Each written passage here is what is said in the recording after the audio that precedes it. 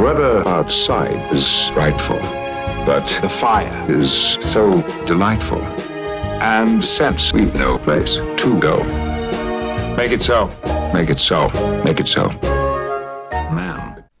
Hallo und herzlich willkommen hier bei Bird of Play. Ich bin der Lutz und wir sind hier wieder beim Adventskalender. Dieses Mal mit Türchen 6. Ich hoffe, ihr hattet alle heute einen vollen Schuh zum Nikolaustag. Es wird Zeit, dass wir mal reingucken, ob der Schuh da auch voll ist, würde ich mal sagen. Das letzte Mal hatten wir ja hier einen Rebellen bekommen, obwohl ich mich immer noch frage. Äh, Fokus? Äh, will ich fokussieren? Jetzt sieht man, glaube ich. Ja, jetzt sieht man ihn. Ich frage mich immer noch, ob das eine Person sein soll. Irgendeine, irgendeine Hauptcharakterperson, sagen wir es mal so, weil eine Person soll das ja sein. äh, du Rebell, stell dich bitte hin. Danke sehr. So, Türchen 6. Wenn da jetzt nichts vom Imperium drin ist, dann werde ich langsam ein wenig düster. So, also auf damit.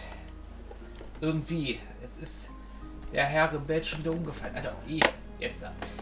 Und es ist, äh, was ist es? Hm, ich hoffe auf das, ich hoffe auf das große schwarze Shuttle. Genau. Das große schwarze Shuttle von, von, von Rogue One. Und es ist...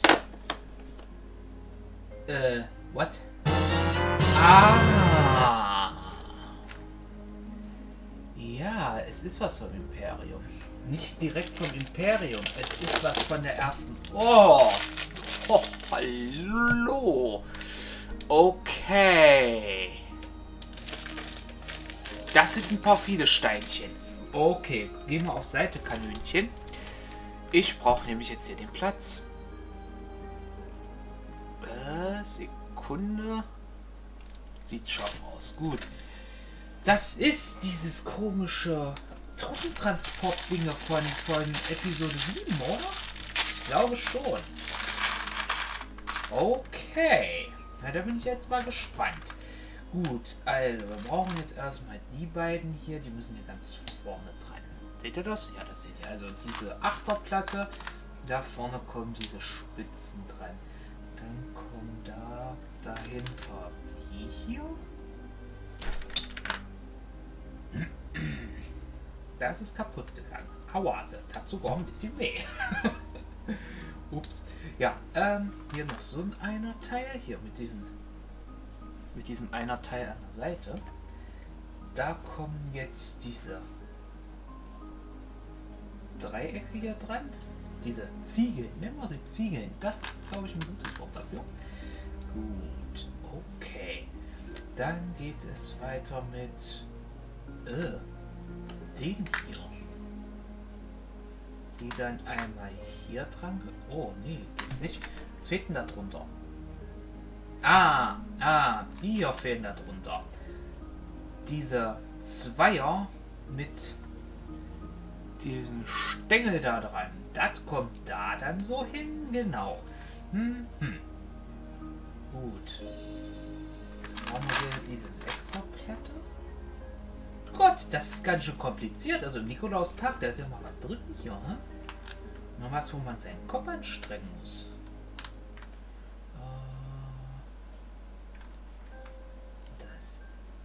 da dran und wo ist das zweite Teil? Da ist das zweite Teil. Ganz genau, ja. Ähm, ich rendere gerade im Hintergrund Battlefront und Elite Force. Das wird heute noch kommen, könnte aber spät werden. Ähm, Sekunde, die Stange hier muss jetzt da so dran.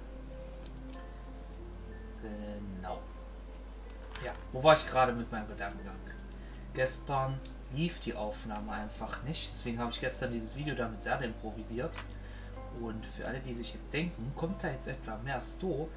Eventuell sogar ja. Eventuell sogar ja. Ich plane da was.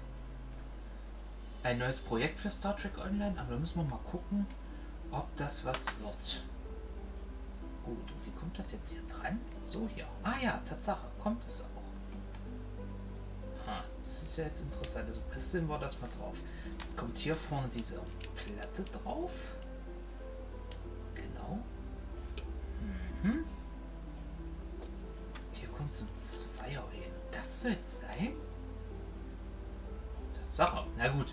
Ganz. Die Dinger habe ich jetzt hier noch nicht drauf montiert. Diese Flügel. Und... Komm schon. Yeah. Jawohl. Das, das. Huch! Das war jetzt ein bisschen dünn. Das war also das.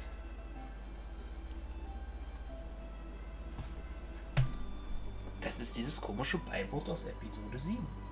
Da bin ich mir sicher. Oder der Aufbau von einem Sternzerstörer, vorne die Spitze ist. So, und jetzt, jetzt kriegen wir in jeder in jedem Türchen noch so ein Stückchen weiter, weiteres Kram vom Sternzerstörer. Dann bauen wir uns hier so einen dicken Sternzerstörer auf. Das wäre cool. Aber dem ist nicht so, weil das hier ist das Beiboot. Hm, ist das vielleicht ein Zeichen, Leute? Sollten wir vielleicht, wenn wir uns jetzt hier mal hier unten angucken, die Trümmerteile hier erstmal wegräumen, das Türchen da schließen. Wir stellen uns jetzt diesen Transporter zu den kaputten Sternzerstörer. The Beam steht erstmal auf. Die Kanone tun wir wieder dahin. Unser Rebellenkollege macht sich schon mal schussbereit. Weil ich glaube, ich glaube, ich glaube, der steht nicht. Jetzt. Wartet ihr zu viel Glühwein oder warum kippt er immer zu? Ich weiß es nicht. So, das dahin und das dahin. Und wenn du jetzt, wenn du nicht gleich stehst, das liegt an der Kanone, fällt mir gerade auf, wenn du nicht gleich stehst, dann schubse ich dich in, in Stehstar Killer Base. Leute, was hat es mit diesem Truppentransport auf sich? Kriegen die imperialen Truppen Verstärkung hätte ich jetzt beinahe gesagt, aber andere Frage. Kriegen wir überhaupt mal imperiale Truppen? Hm, das werden wir mal sehen. Wo ich mir immer noch wünschen würde, dass das hier das erste Teil zum riesigen Sternzerstörer ist. Das wäre, das wäre cool. Nichtsdestotrotz, wir haben mal was vom Imperium bzw. von der ersten Order bekommen. Aber ich glaube, ich mache hier noch nicht ganz Schluss. Eine Sekunde bitte. Ich wollte euch nämlich noch das hier zeigen. Ich habe das Ding schon etwas länger, ein SNES e Classic organisiert bekommen. Ich bin mega gehypt, wenn ich ehrlich bin. Denn, wenn wir das mal um 360 Grad drehen, sehen wir nämlich, was hier für Spiele drauf sind. Das ist ein original lizenziertes Produkt von Nintendo, aber ich denke mal, das werden viele von euch wissen.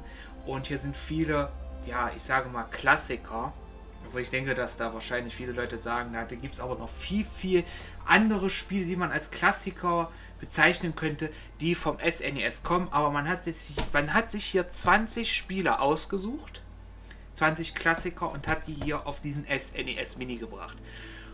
Ich bin mega gehypt, eigentlich bloß wegen einem Spiel. Deswegen ich es mir primär geholt habe, Super Metroid. Ich muss ganz ehrlich sagen, ich habe Super Metroid mal über Emulator versucht zu spielen. Das hat mir nicht sonderlich gut gefallen. Und dann hat mir Jan erzählt, dass dieses Gerät hier rauskommt. Und dann muss ich das schon alleine deswegen haben. Die Sache ist, die Dinger sind Scheibenkleister selten. Und ähm, das hier war ein Zufallsfund. Und ich habe das Ding einfach mitgenommen. Jan hat mich da vorher noch äh, gewarnt, wo es die zu kaufen gibt.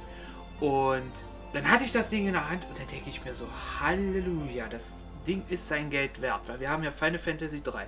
Wir haben Super Mario. Für viele von euch werden sich jetzt denken, boah, ja, geil. Für viele von euch wird das jetzt ja auch schon so ein, so ein Ding sein, wo man sich sagt, ja, ich muss die Konsole unbedingt haben.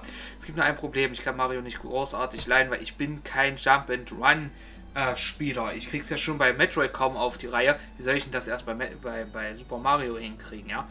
Aber dafür gibt es ein anderes Mario-Spiel, auf was ich mich sehr, sehr freue. Und zwar hier unten Super Mario Kart. Jan sagte zwar, die Steuerung soll scheiße sein, aber ich freue mich trotzdem darauf, weil Jan hat des, den neuesten Teil für die, für die Switch. Ich habe jetzt den, den ältesten Teil hier mit dieser Sammlung. Freue ich mich mega drauf. Wir haben hier noch Super Mario RPG, RPG Legend of the Seven Stars. Das ist jetzt interessant. Also das ist vielleicht auch mal ein Mario-Spiel, was mich interessieren könnte, wenn das wirklich ein RPG ist. Zelda, A Link to the Past. Eine Spielerei, die schon ewig, ich, habe ich mich nie dran getraut, weil das ist ja ein fettes Teil geworden, sag ich mal, ja, wie viele Spiele es da gibt. Aber Zelda, da hätte ich auch riesen Bock drauf. Mega Man! Ah! Oh, Funk Royal ruft nach mir sozusagen. Freue ich mich übel drauf. Hier haben Super, äh, ähm, Joshi, äh, Yoshi's Island. Kann ich echt Yoshi gerade nicht aussprechen? Ja, schlimm. Yoshi's Island. Auch so ein Spiel. Ich mag Yoshi, der ist niedlich, aber ich würde das Spiel wahrscheinlich nicht auf die, auf die Reihe kriegen. Wir haben hier zwei Kirbys drauf. Ah, schon geil. Dann ich bin einfach nur tot umgekippt, als ich gesehen habe, dass hier ähm, F-Zero drauf ist. Donkey Kong. Auch, es sind alles so Spiele. Es wird, das werden so kleine Partyspiele sein, die Jan und ich gut spielen können. Da freue ich mich schon drauf. Aber ja, großartig Let's Play machen? Na, weiß ich nicht. Ähm, kommen wir aber gleich drauf zu sprechen. Ja, wir haben hier zum Thema äh, Partyspiele Street Fighter. Street Fighter 2 Turbo Hyper Fighting. Das könnte ein Dragon Ball Spiel sein, meine Güte. Super Punch Out. Keine Ahnung, was das ist. Contra 3. Ich, ich bin. Äh, Jan hat mich mal auf dem Kanal aufmerksam gemacht. Metal Jesus. Der ist ein amerikanischer äh, Spielesammler, der sich wirklich vorrangig auf. Ja, was heißt vorrangig? Der hat eigentlich von jeder Konsole, jeder Generation irgendwelche Spiele und hat mindestens eine von diesen Konsolen auch bei sich rumstehen. Und ich erinnere mich, Contra hat der so oft in seinen Videos drin, also da, darauf freue ich mich schon. Earthbound. Earthbound wird so oft erwähnt, dass das ein scheiße wertvolles Spiel sein soll. Ja, Secret of Mana? Äh, da. Ist es jetzt im Fokus? Jetzt ist es im Fokus. Ich glaube, das gibt es doch jetzt mittlerweile auch auf Steam, oder? Ich glaube schon. Ich könnte schwören, ja mal Secret of Mana auf Steam angeboten. Genauso wie eigentlich auch Mega Man fällt mir gerade auf. Da gibt es doch auch eine Collection, ja. So, dann haben wir noch Super Ghost in äh, äh, Super Goods and Ghosts. Da bin ich auch mal gespannt, was das ist. Also, jede Menge schöne Spiele und Star Fox. Star Fox ist wichtig, wenn man das ja durchgespielt hat oder wenn man das angespielt hat, dann kriegt man Star Fox 2 und Star Fox 2 ist niemals veröffentlicht worden. Wie gesagt, ist so ein kleines Gimmick, sag ich mal, wenn man Star Fox gespielt hat, dass man dann Star Fox 2 auf der Konsole freischalten kann. Man hat es wohl fertig programmiert für diese Konsole hier. Ja, also, man kriegt also 20 Spiele für, ja, ich sage mal, man muss zukommen, so bis zu 100 Euro. Dann habe ich, ich habe erst so gedacht, boah, ist das. Und dann habe ich das mal durchgerechnet. Dann hat ihr pro Spiel 5 Euro ausgegeben und kriegt quasi noch eins gratis dazu. Finde ich sehr, sehr interessant. Gut, dann machen wir das Ding mal auf. Jetzt haben wir die Konsole. Sieht halt aus wie so ein SNES mit zwei Controllern dazu. Dann machen wir das mal auf hier. Und zack. Jawohl. Da haben wir es. Hier ist wohl die Anleitung, alles klar. Dann haben wir hier zwei weiße Teile. Hier haben wir einmal die Konsole. Und man sieht schon, die ist wirklich mini. Die hat ungefähr Handflächengröße. Ja, dann haben wir hier, was ist das hier? Power? Achso, das ist der An-Aus-Knopf und der Reset-Button. Okay. Kommt man dann wieder zurück ins Menü oder wie? Cartridges werden hier nicht mitgeliefert, das ist einfach bloß ein Gimmick. Genauso wie hier vorne diese Anschlüsse, die sind nur angetäuscht, weil hier drunter, äh, hier, genau, dann so ein Haken, da hat man hier diese Ports was haben wir hier? Noch irgendwelche Warnhinweise? Ne, Mod CLV 301. Input. Ah, hier unten sind irgendwelche. Oh, Made in China. Wer hätte das gedacht? Hier unten sind irgendwelche Modelldaten. Alles klar. Und hier sehen wir schon, man braucht ein Micro-USB-Kabel, um es mit Energie zu versorgen, und ein HDMI-Kabel, um es mit seinem Fernseher zu verbinden. Sehr, sehr schön. Also, ja, kann man dieses Spiel hier quasi Full HD spielen. Das freut mich sehr. Ähm, dann haben wir hier zwei Controller sind mitgeliefert. Hier haben wir einen. Ja, ein klassischer Super Nintendo Controller, allerdings mit einem neuen Anschluss. So wie es aussieht, ein Anschluss von, von einer Wii. Interessant. Oh, Alter, die, die fühlen sich schon richtig geil an hier. Die Controller freut mich sehr. So, jetzt wird es interessant. Oh, ein Micro-USB-Kabel und ein HDMI-Kabel. Jetzt bin ich baff, weil hier auf der, auf der Ding steht kein Netzteil mit. Ah! Äh, Sekunde, wartet mal, ich hol's mal im Fokus. Kein Netzteil mitgeliefert. Jetzt verstehe ich das. Aber das Kabel ist mitgeliefert. Okay, das verstehe ich nicht. Ist das so schlimm, da jetzt noch so ein kleines Netzteil mitzubringen? Ah, na gut. Also, das Kabel hat man, aber nicht das Netzteil dazu. gut. Also das ist in der Verpackung. Und dann gucken wir gleich mal, wie das aufgebaut aussieht, würde ich sagen. Da ist die Konsole angeschlossen. Ein bisschen wackelig steht sie da, direkt unter meinem Monitor. Und dann würde ich mal sagen, gucken wir jetzt mal an, was die Konsole zu, zu bieten hat. Haben wir das Menü und das hat schon Musik. Und es tut mir leid, ich muss das leider so mit meiner Kamera aufnehmen, weil ich habe keine Capture Card. Aber wenn das, wenn die Konsole das Potenzial hat, was ich denke, was die Konsole haben wird im Potenzial, könnte ich mir vorstellen, dass ich mir dieses Jahr zu Weihnachten noch eine Capture Card hole, sodass wir hier ein paar Spiele Livestreamen und auch Let's Playen können. Aber Menü, Sprachenauswahl, schon mal interessante Musik, gehen wir mal auf Deutsch. Ja, natürlich. Ah, und dann, oh, oh, hier ist die Spieleauswahl. Guckt euch das an. Earthbound. Donkey Kong, Contra, Alter. Super Mario, Super Mario Kart. Star Fox 2, äh? Star Fox 2 ist hier schon mit drauf. Ich dachte, das muss man erst freispielen. Naja, vielleicht können, dann, können wir da noch nicht reingehen. Ähm, aber vielleicht ist es einfach schon mit im Menü verankert. Das ist möglich. Ja, X, äh, X-Men wollte ich gerade sagen. Genau. Mega Man X, so rum. Ach, Alter, guckt euch dieses Spiel an. Was nehmen wir denn mal? Kommt, wir nehmen, wir nehmen das, warum ich es mir gekauft habe. Super Metroid. Nintendo. Mal gucken. Ich habe noch nie... Oh, 1994, ja. Alter, das Spiel ist fast 24 Jahre alt. Ich habe noch nie so ein Let's Play gemacht. So richtig primitiv. Aber das ist geil. Es hat was. Metroid 3. ich ja mal gespannt, wie sich das spielt, ey. Ich hoffe, besser als auf den blöden Emulator. Oh, ich habe endlich Metroid 3. Ist das geil. Ja, ähm, großer Nachteil der Konsole. Alle Spiele sind auf Englisch leider nur. Es ist ein großer, großer Nachteil.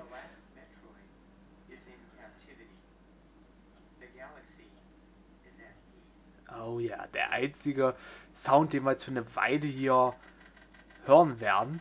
Ähm, viel Text. Ähm, wartet mal, ich konnte den Text mal auswendig, aber jetzt kann ich. Nein, das war, das war eine Lüge. Aber wisst ihr, wie oft ich Metroid 3 bei Funk geguckt habe, bei Funk Royal? Ich weiß es nicht, wie oft ich bei Funk das Let's Play geguckt habe und auch bei NRW Boy. Ah, das ist so episch. Ich hab's endlich. Ah. Hallo Samus. Ja, deine Amiibos habe ich da oben rumstehen. Musste ich so zwinkern. Ich habe die schon gekauft. Ich habe sogar eine Statue von Zero Suit dir. Von, naja, von deinem zukünftigen Ich, ne? Ähm, worauf ich jetzt gerade angespielt habe, ich habe mir äh, vor Ewigkeiten schon, ach du meine Güte, äh, da habe ich mir eine Statue geholt, Zero Suit Samus von, von Metroid Other M.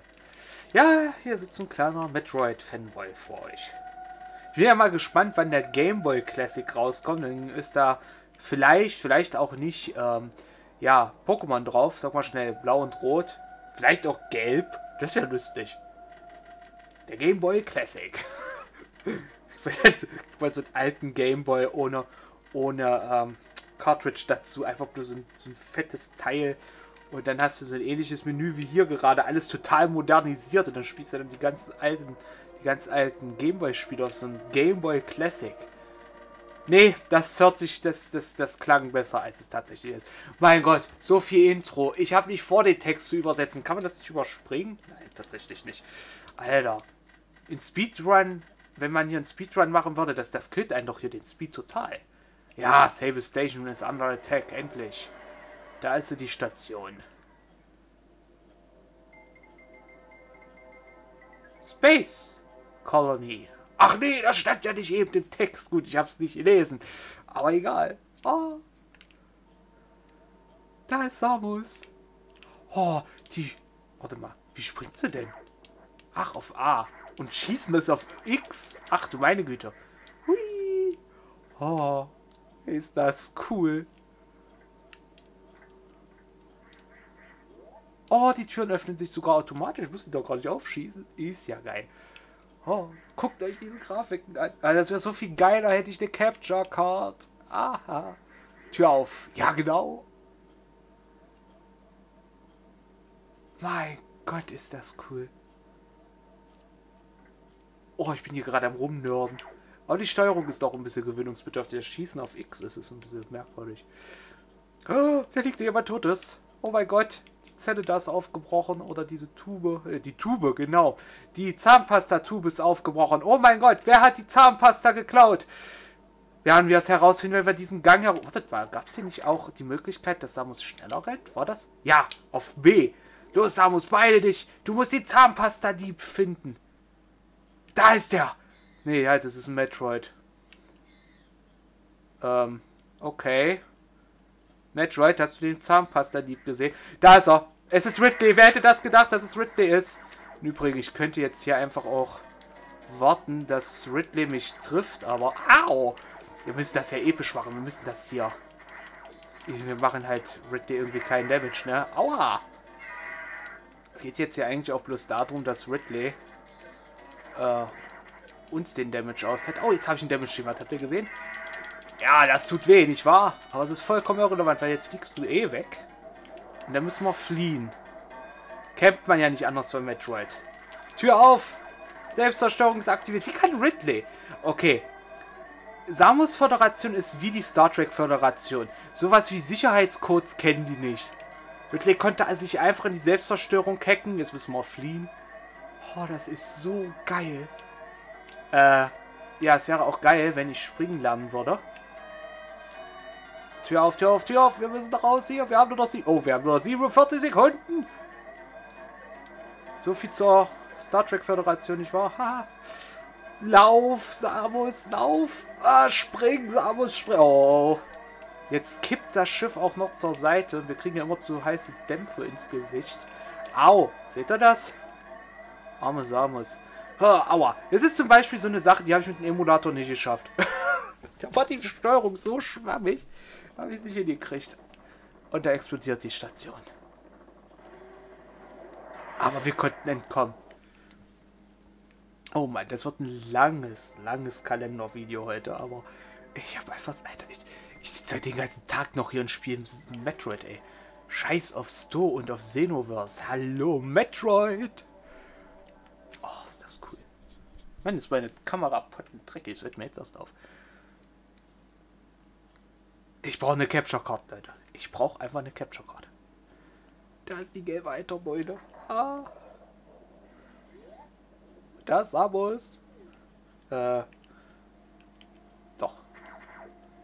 Ach halt, wartet mal. Also. Hier geht's nicht rein. Genau. Da brauchte ich, glaube ich, irgendein Upgrade für, ne? Mhm. Oh, hier drüben geht's rein. Mein Gott, wer hat dieses schlechte Wetter denn hier bestellt? Ist hier gerade sogar... Das ist gerade geil. Hier auf dem Display sehe ich jetzt immer zu dem Blitz aus dem Augenwinkel hier von meiner Kamera. Leicht ablenkend, aber geil. Krabbelfiecher, habt ihr sie gesehen? Lauf, Samus. Na, ja, so wirklich Schnellfeuer haben wir nicht. Also, doch, man kann schon den, den, den, die Schusstaste gedrückt halten und dann schießt sie dauerhaft. Da kommen wir noch nicht lang. Da kommen wir durch die rote Tür kommen wir noch nicht. Die blaue Tür habe ich jetzt ignoriert, weil ich nämlich genau äh, hier hin möchte. Oh, hier blitzt und funkt alles. Nee, das sind keine Blitze, das sind schon wieder irgendwelche Krabbeltiere. Irgendeine zerstörte Basis hier. Gut, Metroid-Fans wissen ganz genau, wo wir sind.